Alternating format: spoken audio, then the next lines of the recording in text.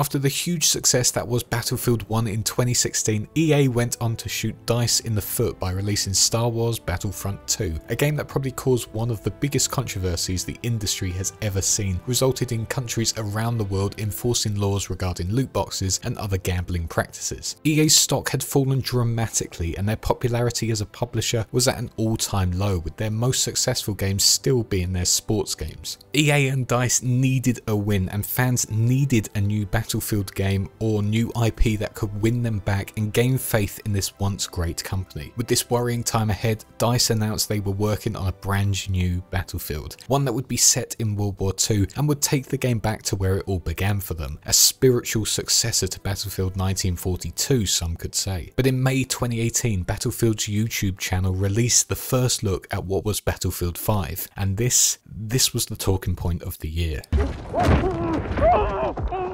Fuck it! Hello, old friend.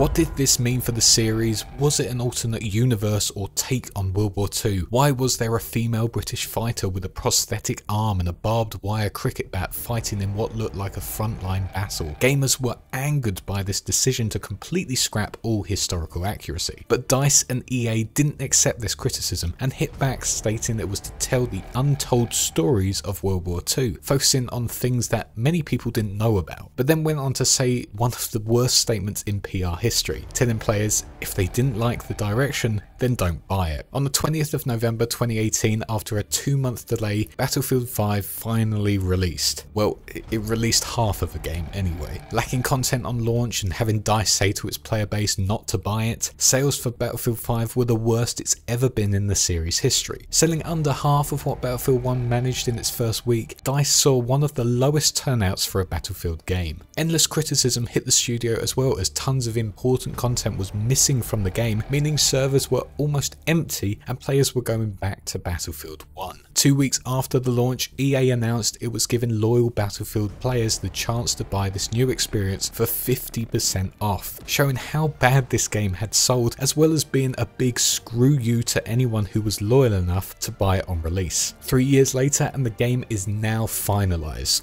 Well, the team is finished with it anyway, and I thought it was finally time to look back at Battlefield 5 to see if it was really that bad game everyone claimed it to be in 2018, and see what was good and bad about its campaign, multiplayer, and the all-round user experience. So welcome to Wisefish, and this is my review of the somewhat finished game Battlefield 5.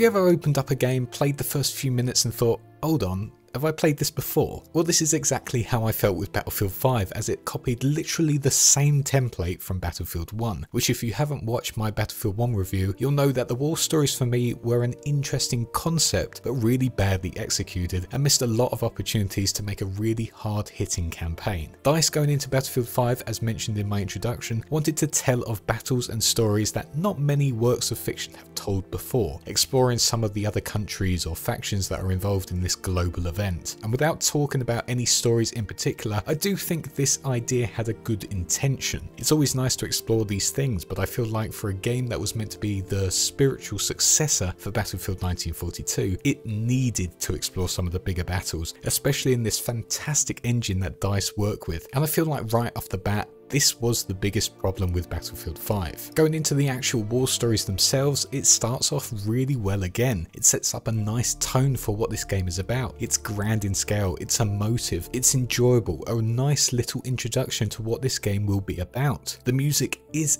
epic. The gameplay is fun and graphically it looks beautiful. The link to Battlefield 1 as well right off the bat was really nice. It felt like a continuation and I really liked that. When booting up this game I got to admit I had a good first impression. But all round like with Battlefield 1's prologue it sets the scene well and displays what DICE's angle was for this game. But like with Battlefield 1 that's where it ends. I honestly feel at this point DICE and Battlefield are just better off doing big battle prologue style missions instead of try to do short stories as they are better at setting up emotive stories than actually executing them. With that said, however, I did much prefer two of the stories within this campaign compared to Battlefield 1's stories. Tirailleur, or however it's said, tells the story of the French colonial forces who want to do anything to prove to the regular French troops that they are just as good, if not better, at fighting, and want nothing more than to make the people back home proud of them and allow for future generations to be recognised as equals. It's a nice story between two brothers, and I felt like it was quite personal and tragic at the end as they are removed from history just to appease the French public and officials. I know a lot of people complain that it was insulting to France and that this didn't really happen, it's just identity politics, but sadly these things did happen, and I felt like this story captured the emotions of those troops well. Believe it or not, the other story I quite liked was the final mission of the war stories, the one added after the launch, The Last Tiger. It's quite a risky move, honestly, to tell a story of, and yes, I will say it, even if DICE EA don't want to, but playing a Nazi officer was something I hadn't really done before, especially one during this point in the war. It told the story of basically these guys doing this. Hans,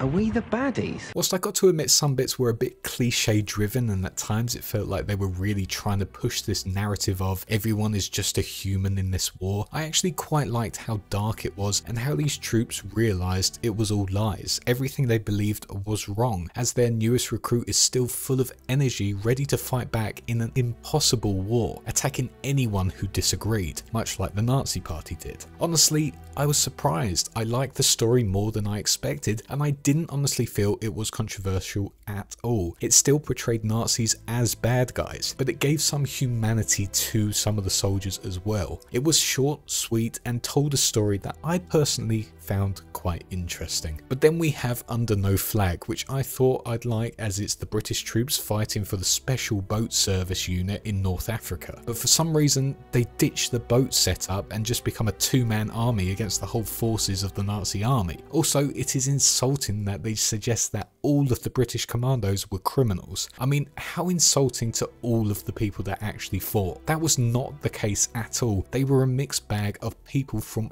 all different backgrounds, and I cannot believe they went with that narrative at all. But there was just nothing interesting about this story at all. It felt like a weak version of the runner from Battlefield 1. It's just so poor, and I'm sorry, but the voice actors are bad in this war story. I'm British and from London, and I found it hard to understand what the hell they were saying a lot of the time. Which brings me onto a small tangent. Why, why, why did they make the subtitle text white with no background or shadow to make it stand out? I cannot see any of the subtitles in some of the damn levels because they are just washed out by the lighting and the terrains. Also, they speak during battles, making it almost impossible to see what they are saying during that battle. I love the French campaign, but I wish they didn't have them speak vital lines of dialogue during a battle where I cannot read and fight at the same time. I love that they use their own languages within the stories, but come on, be creative with the subtitles, or just make them easy to see. There are so many accessibility options for people, yet the fundamental basic one of text is an absolute joke. Okay, and finally we have Nordlys, the story about a mother and daughter who sabotaged the heavy water facility which was helping to make nuclear weapons within Norway. Many people have said this before, but I have to agree, this mission is the most insulting of them all. They had the opportunity to tell a great story within the war about these groups of soldiers who infiltrated the facility and took over without firing a single shot shot but instead they got rid of those guys completely and replaced them with just a lone female soldier who has less personality than a wet cloth. This mission wouldn't be bad if they just at least mentioned the ones who were involved in that operation, but instead they make it out like this story actually happened, or that it was all totally fiction. It's just outrageous honestly, all because DICE were adamant on having a female soldier because of what the CEO's daughter couldn't figure out why women weren't in World War II. I, I just don't don't get it. If DICE wanted a female lead character, they could have explored so many other stories, like Pavlenchenko, or however it's pronounced, the famous Polish sniper, Nancy Wake, a New Zealand guerrilla fighter who dropped into occupied France and took out Nazis and their buildings, or Medal of Honor's heroine Manon Baptiste, who was part of the French resistance. They could have explored so many different female characters who were actually involved in the war fighting on somewhat front lines. They could have even looked at Russia and the revolutionaries in that. They actually were women fighting on those front lines. It just makes no sense. But instead they took an event which was a group of male operatives who lost some of their comrades before and turned it into a mother and daughter story. I ask you, why? That's my problem with Battlefield 5. It felt like false marketing. It told us it was to explore untold stories never heard before, but instead just made them up and changed them for their own narrative. And whilst I really liked the French story and The Last Tiger, I just cannot enjoy this move from DICE. It's just insulting really. To also chicken out of putting the Nazi symbol in a game about the events of World War II makes no honest sense to me in the slightest. If you're scared of putting a Nazi symbol anywhere, maybe don't do a World War II shooter. I get that the Wehrmacht was all the armed forces of Germany combined, but when you go round the streets of Germany itself, it would have had the Nazi party symbol, not the Wehrmacht symbol. It just makes no historical sense at all, and it's not as symbolic to see Berlin fall when you haven't even got the Nazi party flag flying anywhere. I just don't get what story they wanted to tell here. Are you telling the events of World War II, or is this an alternate universe take on World War II. You have to pick one because it cannot be both. They did it back in the day when they did Secret Weapons of 1942. That was an alternate timeline. So if you wanted to do that, then you can do it. But instead, you stick by the fact that this is World War II and then tell your own stories to fit your agenda. It just makes no sense. Also, I swear there was meant to be another story. We see a few times in the prologue dogfights and Luftwaffe battles and even get some plane gameplay, yet there's no plane story at all. It seems like it was just cut out completely. Maybe because that would have been two German stories in the campaign, which would really look a bit weird honestly. But again, this could have been saved by gameplay, and yet again, like with Battlefield 1, I just did not enjoy my time in these campaigns. They were all so bland. For some reason, Battlefield thinks it's Far Cry with its level design, opening up every single map into a multi-objective open world where you stealth your way through. I just don't enjoy that. I play Battlefield for its large-scale conflicts and working with a squad to get the job done. But apparently DICE has this obsession with making you the lone wolf and going through it alone with everything. Why in God's name do I have to do everything. At least with the French story, we got an awesome charge up the mountain, but it doesn't take long until you turn into that lone wolf trying to take out enemies all around you. Why do they focus so much on stealth? It bugs me so much. And large open maps, sure, they're cool at first, but they get so repetitive after a while. I really, really hope they do something different with Battlefield 6. Also, the final point, but stealth is even worse in this game. The spot meter during levels is white with no backdrop. You cannot see this at all in snow missions. Also in Battlefield 1 during these stealth bits, they made sure you had options in terms of how you go about it, giving you sniper areas with silenced weapons. In Battlefield 5, they expect you to stealth your way through, then cause a huge explosion. Defeats the point of stealth really, doesn't it? I just really hate how they seem to not be able to give us something that is what makes Battlefield great, and that is large scale mad combat. Instead, they just want us to do the same tasks each time in a similar style to Far Cry. But if I want that,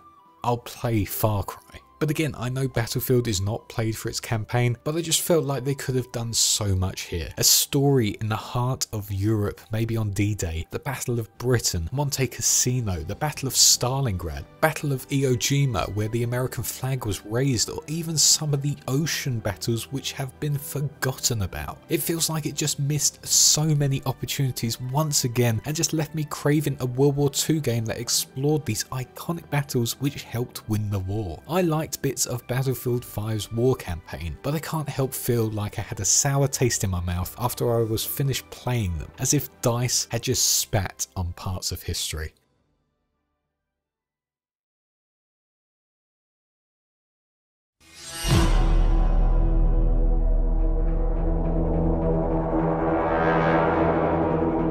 Been really umming and ahhing about how I feel about Battlefield 5's multiplayer because after coming from Battlefield 4 and Battlefield 1, I knew what I liked about Battlefield's multiplayer and how combat felt. And when I jumped into Battlefield 5, I felt like there was something wrong. I could never see people, I felt like the guns weren't doing what I wanted, and it just didn't feel like Battlefield to me. I think because the game had been slowly trying to appease people from more of the casual market, Battlefield 5 felt like it was the first step in going towards more of a Call of Duty audience, and I felt myself really not liking it. But I stuck with it, and after a good few sessions, I got to admit I got to liking it a lot after a while, especially the gunplay. But that's not to say that I like all of Battlefield 5's multiplayer. In fact, I really do think this game is the biggest downgrade out of all the games and has so many negatives that sadly will never be altered. To start with, I want to talk about what I liked about this game's multiplayer. The guns really grew on me, and after a while I got a real feel for how they worked. I absolutely loved the feeling of them, they are so responsive, and for me the M1 Garands now has finally been added to the sandbox is such a fun weapon to use. That iconic sound as you finish a magazine as well is just so cool. But I really liked experimenting with all the guns. I think every single one had their own playstyle to them and they all felt different from one another with some amazing sound design to make them really pack a punch in combat. And let's be honest, the full sound design of this game really shows in some massive multiplayer games, especially in Breakthrough and Conquest. The sound of Spitfires flying overhead and gunning down capture points and fortifications was ear-piercing and epic. The explosions happening all over the map, the gunplay in different terrains, and let's not forget the incredible V1 bomb. Man, this thing is just insane. Hearing this horrible sound overhead trying to look for it as you wonder if it's going to hit you, then that huge blast as it takes out a full area and catapults you back. Man, it's just so cool to witness and use no matter what side you're on. Speaking of the V1 bomb, I actually like the squad leaders were given things the more points they get. We sort of lost that in Battlefield 1 and it was something that really drove squad play in Battlefield 4. The more you work together, the more points you get, the more upgrades you get. I love having the options when you're a squad leader to activate bombing runs or if your squad is going really well, activating a V1 bomb run. It helps keep that focus on squad work and at the end of some game modes it becomes this epic bombardment of squad leaders and their abilities. The final thing I like about Battlefield 5 now has to be the Pacific maps. This isn't to say they are perfect, there are some parts of the maps where it's like looking for a needle in a haystack and people just camp in forests making for some frustrating gameplay, but I would argue it's somewhat fitting of what the Pacific would have been like. But the actual maps within this work so well for the gameplay and being able to do beach invasions was so cool even if it is a bit unbalanced at times. My most fun in Battlefield 5 came from doing the breakthrough game modes and conquest modes in the Pacific maps. They are great maps, really varied, have epic introductions to them, are visually stunning especially with the dynamic weather, and also the update brought in some fantastic old iconic and new guns to the sandbox as well as new vehicles which look great and some cool cosmetics. Honestly, if it weren't for the Pacific update, I would have quit this game quickly, but the Pacific captured me and allowed me to have a lot of fun. But what I dislike about this game is a lot of the other maps. I don't know what it is, but I really struggle to like any of the base game maps at all, or any of the Europe maps or North Africa maps. They are either far too big with just so much empty space, which is good for vehicle battles, but just awful if you're infantry. And I saw some people say, well, there's places you can hide or fortifications to build for cover. Nah, maybe back in the start of the game, but now when I play vehicles just camp these areas, meaning you just have to stick to one location or get in a vehicle, making for honestly some awful conquest games. All the maps are too small and the game mode is just really boring. Twisted Steel and Arras were the only ones I felt like I actually enjoyed from the main ones. Narvik and Fjell 652 are just simply painful to play because of how bright it is and how linear the maps are. Even the sort of remastered ones like Operation Underground I wasn't a fan of and I loved Operation Metro, but something just feels off here. They're either far too large that it just makes it boring to play unless you love vehicle combat, far too small like Fjell, or just really uninspiring like Rotterdam in my opinion. Whilst visually lots of them look great, especially with the dynamic weather, I just can't say I enjoyed my time in them. Like with the campaign, I really felt like they needed some big memorable maps like D-Day or Stalingrad, the early battles of France, Battle of Britain like Battlefield 1942 had. Instead, these maps are of battles barely anyone knows, and it just makes fighting there a bit uninspiring compared. Pacific was going in the right direction, and it was awesome to see some of the big battles of the war there. But this game needed some of those iconic European operations and the Eastern Front to really stand out. It's so sad that the game has been dropped completely, and we will never see Stalingrad or any of the big battles there. Sure, we got some in Battlefield 1, but this is a totally different war, and I would have loved to have seen Battlefield 5's take on the Eastern Front. There's also the game modes. There's barely any choice. Literally the only things people play in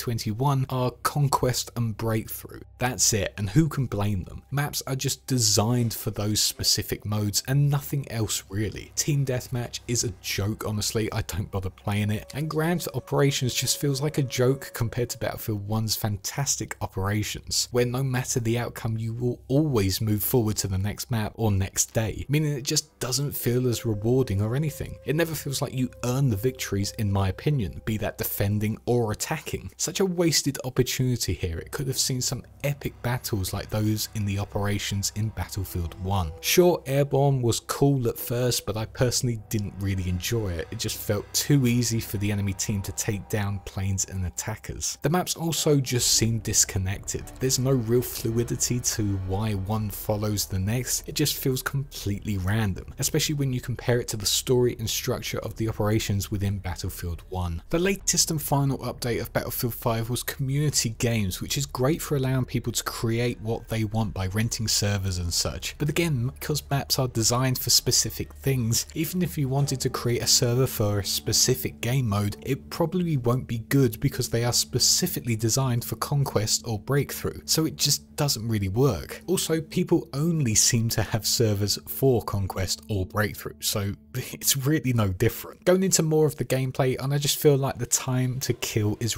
ridiculously short in this game still. I thought at first maybe it was just me playing badly, and yeah, sometimes it is. But I went back to Battlefield 4, and no, this game is ridiculously fast paced, not allowing you to really make mistakes at all. It feels like Call of Duty really, and I really didn't like that. I love the gunplay, but man, the time to kill was insanely short here. Going around the corner and you meet an SMG user, it's basically game over, especially anyone that uses the goddamn Type 2A gun. That gun's killed me so many goddamn times, it's just frustrating now. Speaking of which, why are the classes locked off to having specific guns? I just don't get it. Why do medics have to have the SMGs? Why are assaults locked to having carbines? And someone please tell me why support are allowed LMGs, MMGs and shotguns. I don't get why classes lock off weapons and you can only play medic with SMGs. I love playing as a medic but I enjoy it more with carbines or bolt action rifles. But the game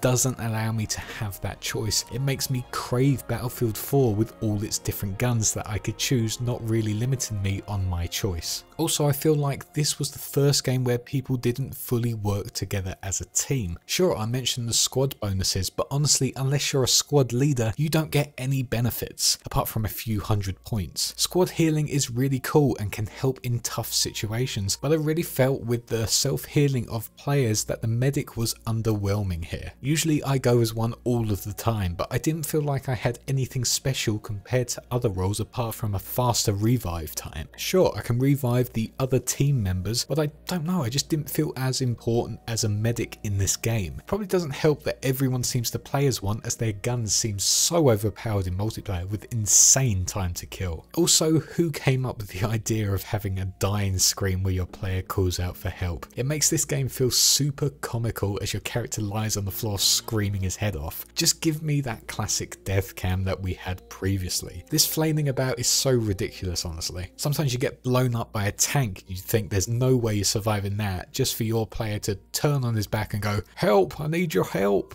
It's just a joke. Also, the voice actors, my word, where did they get them? Some of the lines are absolutely hilarious, especially the British. Throwing a bomb, good to see you again, matey. I've been bloody shot. There's blood, there's blood everywhere, and the hilarious screams from the female soldiers.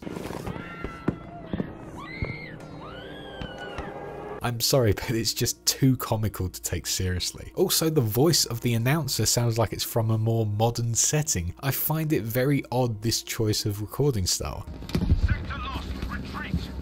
I much prefer Battlefield 1's as it feels like it fits the setting more. Here it just sounds like a cross between Modern Warfare and CSGO. The building mechanic as well is questionable. There's a full game mode devoted to this mechanic, and whilst there were times where I felt like it was quite unique and quite fun to play around with, I can't help but think it's just trying to copy Fortnite, and I know that's controversial. I like how it can make defensive modes feel a bit more tactical, but most of the time all it takes is one bombing run and that's gone. Personally for me, it was just weird and very annoying when you can't fully build things because one tiny bit of debris is blocking the way. It's an interesting thing to bring into Battlefield, but I'm not that amazed by it, honestly. The gun upgrades is far better than Battlefield 1's, but I feel like it's so limited on what you can do. Don't get me wrong, I like to see progression on guns, but it doesn't take long to upgrade it. And then that's it. Next thing is just getting skins for it, which cost an absolute fortune. This game's currency system is a joke and clearly trying to get players to spend money as you can see from the shop that has the recommended currency amount. Yeah, sure you can do weekly events and tasks, but some of these skins cost thousands of coins, which equals to at least a good 8 hours of more of gameplay. Why would I spend that on slightly different coloured trousers when I can upgrade my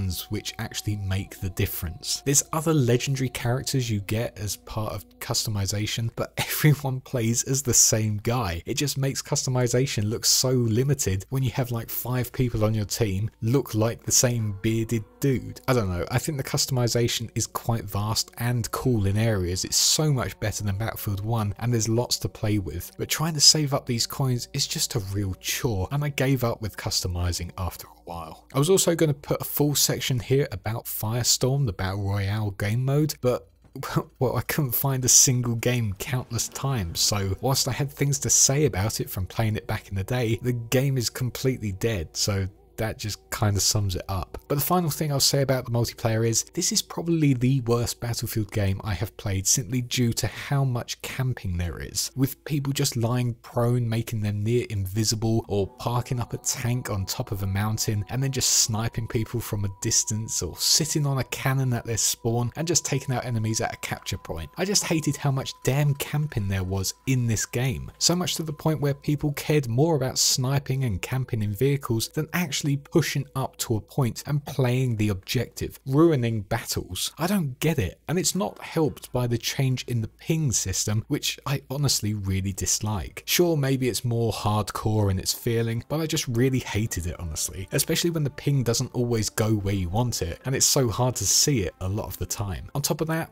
people still don't play their roles. With medics being this chosen class people like to play because of the guns, a lot just don't bother with healing or reviving players and it is just beyond frustrating. Also, squad healing is cool, but some people just don't bother. And again, what is the point in playing a squad focused tactical game like Battlefield if you don't play the objective? Also, why is it only four people in a squad? How did we go from six to five to now four? It's just madness. But seriously, there are moments in Battlefield 5 where I feel like this was actually a fun experience, but it is nothing compared to previous titles. It really is so limited on fun. Roles are cut down, squads are small, maps are 80% trash and 20% awesome, gameplay changes have made the game feel far more like a bigger version of COD, and the limited amount of different game modes just means you'll be regurgitating the same things over and over again. I like the feel of the guns, I love the Pacific maps. I like some of the improvements the game has made, but it's just not finished. It needs more, and unfortunately every time I play it, it just makes me want to boot up Battlefield 1 or Battlefield 4 again, as those games just offered me so much more fun. I can understand why lots play it and enjoy it, but for me, it's just another missed opportunity to make something that could have been the spiritual successor to Battlefield 1942, or just one of the best World War II games out there. Instead, it's a huge huge step down in my honest opinion.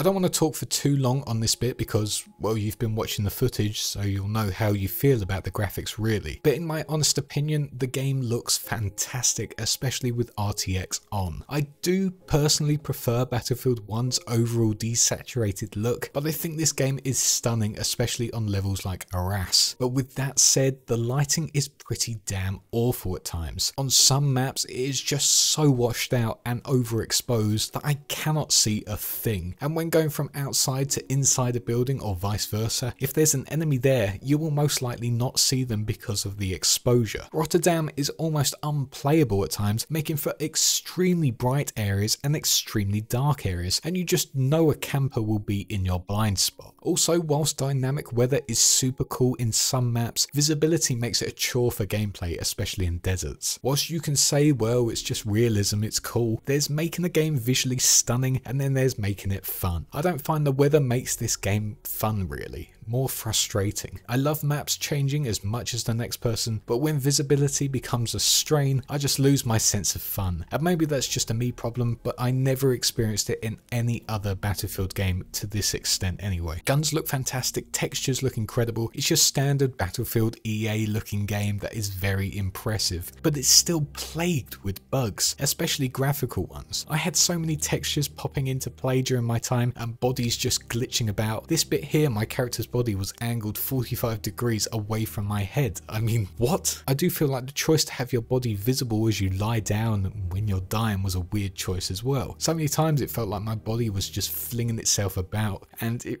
really just looked awful. I get what they were going for in terms of the line on your back to shoot, but visually I just think it looks awful. In the campaign, specifically the last Tiger mission, there are some objects just floating in the sky. There are just cables hanging there for no reason. It just looks so ugly and pulls you out of the immersion. How does this campaign still have broken things after all these years and this was the campaign that was delayed on launch? I mean what the hell? In the Norway story as well, the animation for the mother seems to be in a totally different frame rate from the rest of the gameplay. She just stutters about the map and it's just really off-putting. I don't know what causes this but again it's just another eyesore and I see why they now just make you a lone wolf because clearly friendly AI characters just don't look that good. Moving on to multiplayer, Battlefield 5 has the most amount of cheating players I've experienced in all my time in the franchise. Almost every game would have someone getting streaks in the plane despite never really being that visible. People sniping under the map, tanks headshotting people, invisible players, the list goes on and on. Every game had something and again it ruined all the experience. I guess there's more hackers because of the currency and progression system, but man it's just so awful and really sad to be honest. I hated it in Battlefield 1, but Battlefield 5 seems so much worse. The server browser again is just rubbish. It's either filled with full games or there are just none at all. I don't get what the hell is going on with their servers, but when you compare Battlefield 5s to Battlefield 4s, something is seriously wrong. Countless times I was just in an empty match waiting for people to join and just no one showed up at peak times as well. I thought the game was dead, but then the next minute it's fully populated in another game. What is going on with the servers and why when I press quick play do I get brought into matches with no one playing? Oh and yeah Firestorm still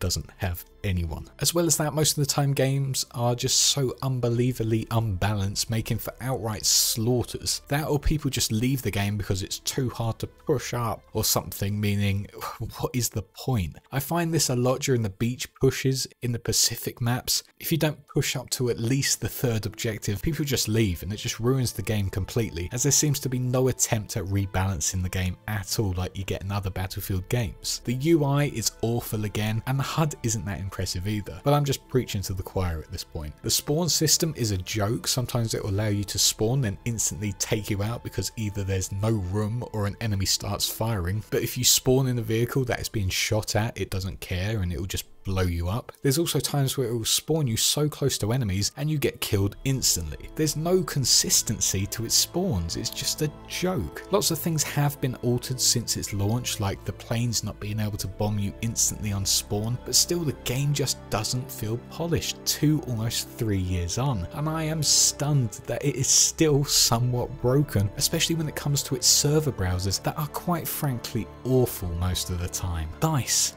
EA. Man, what happened with this game? I really do feel like DICE were just pushed far too hard to make a game every year.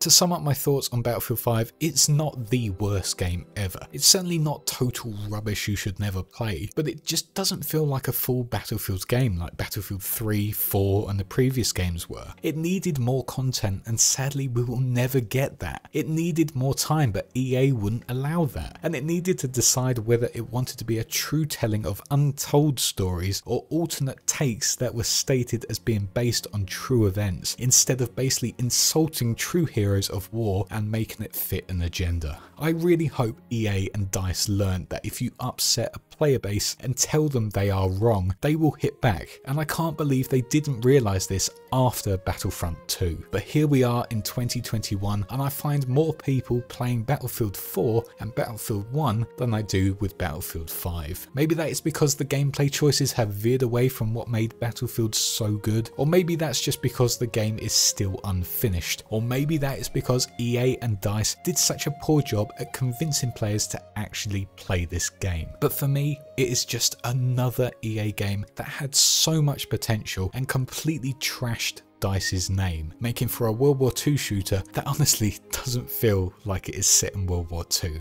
A real shame, but honestly, I am not surprised at this point. So those are my thoughts on Battlefield 5 now it is sort of finished. What did you guys think? What did I get right or wrong? And what did you like or dislike about Battlefield 5? Let me know in the comments below. Thank you all so much for watching. If you'd like to support this channel, like, sub and share would be much appreciated. And you can follow me on Twitter and Discord by hitting the links in my description below. I also have a link to my other Battlefield reviews in the description below if you want to watch them. You can also support me financially through my Patreon or becoming a channel member if you really like this content. And speaking of which, I'd like to thank my supporters real quick. Big thanks to our big fish, Mr. Duquesne23, our two sharks, JP and Dylan, and our four huge megalodons, Sinus, Morgan Brazier, JJD896, and Wow Such Gaming. Also a big shout out to our Wise One YouTube channel member, Jambu. Thank you guys so much for your ongoing support, it means the world to me. But that is all for now, thank you all so much for watching once again. I will be looking at Battlefield 4 next as part of my Battlefield series, as well as making some lore videos, so make sure you turn your notifications on for that. But until then, I shall see you all in the next one. Cheers.